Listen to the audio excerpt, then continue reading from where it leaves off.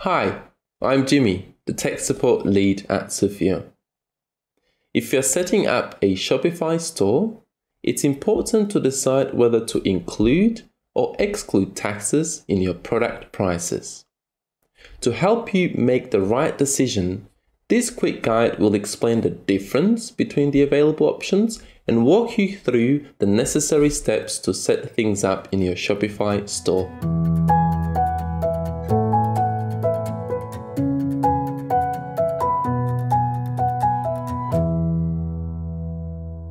Let's begin with an example of a Shopify store based in France that sells a product for 20 euros. As a French online store, we must charge a tax rate of 20% to customers in France. However, customers in the US are not subject to EU taxes and therefore the tax rate for them is 0%. With this example laid out, let's look at the three configurations their differences, and how they impact the way tax is charged on your products. Let's talk about the first and simplest case, when product prices exclude tax. Having tax excluded from prices means that Shopify store will display them without tax. This is useful if you predominantly sell to businesses and it means that a customer from France will pay a total of 24 euros, which includes 20 euros for the product and 20% tax of 4 euros. However, a customer from the US only pays 20 euros for the product with no additional tax.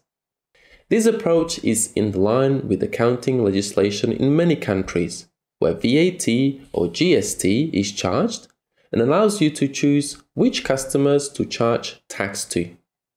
You can also use this feature to charge tax to some customers, but not to others, like VAT exempt business customers in the European Union or customers with disabilities or the indigenous backgrounds. To learn more about how Sufio can help you with this, check out the link in the description below.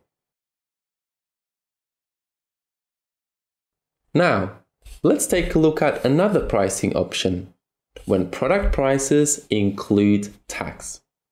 In this case, both French and US customers will pay the same price of 20 euros. The French customer pays 16.67 for the product and 3.33 for tax, while the US customer pays 20 euros for the product.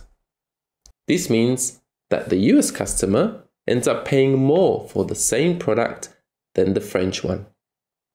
The advantage of having prices include tax is that your Shopify store will display the final price, which is especially useful when selling primarily to consumers or when the legislation in your country requires you to display tax inclusive pricing.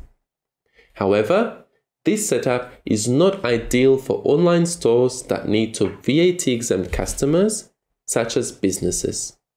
Therefore, if you are primarily selling to businesses or need to offer VAT exempt pricing, then this setup may not be the best option for you.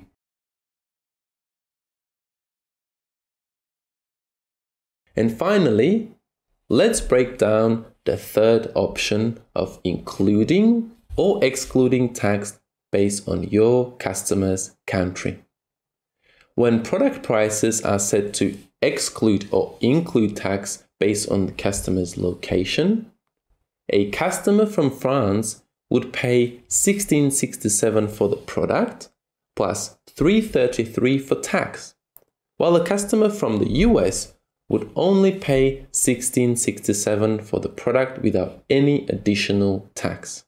This pricing option is great because it prevents customers from paying unnecessary taxes and allows your Shopify store to calculate and selectively charge tax based on where your customer is shopping from. Moreover, this setup lets you display prices with taxes included while still being able to VAT exempt certain customers like businesses or not charge tax on products for customers with disabilities or indigenous backgrounds. Please note that any changes you make to your tax settings in your Shopify admin will only affect newly created orders and invoices. Existing invoices will remain unaffected. Deciding which pricing option is best for your Shopify store can be challenging. So it's always a good idea to consult a registered tax consultant to ensure you are making the right choice. If you need further help setting up taxes in your Shopify store, you can check out our tax guide by clicking the link located in the top right corner of your screen.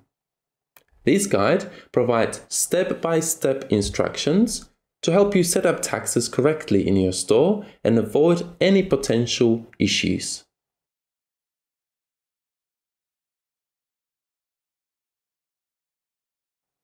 So, now that we understand the differences, let's take a look at the necessary step to set up product prices in your Shopify store. In your Shopify admin, go to the Settings, Taxes and Duties page. To include or exclude tax from product prices, scroll down to the Decide how tax is charged section. To exclude tax from your product prices, uncheck the Include Tax in Prices checkbox. To include tax in product prices, check the Include Tax in Prices checkbox, then save your changes. If you want to include or exclude tax based on the country your customer is shopping from, in your Shopify admin, go to the Settings Markets page. In the Other Markets section, click on the Preferences option. Check Include or Exclude Tax based on your customer's country checkbox and save your changes.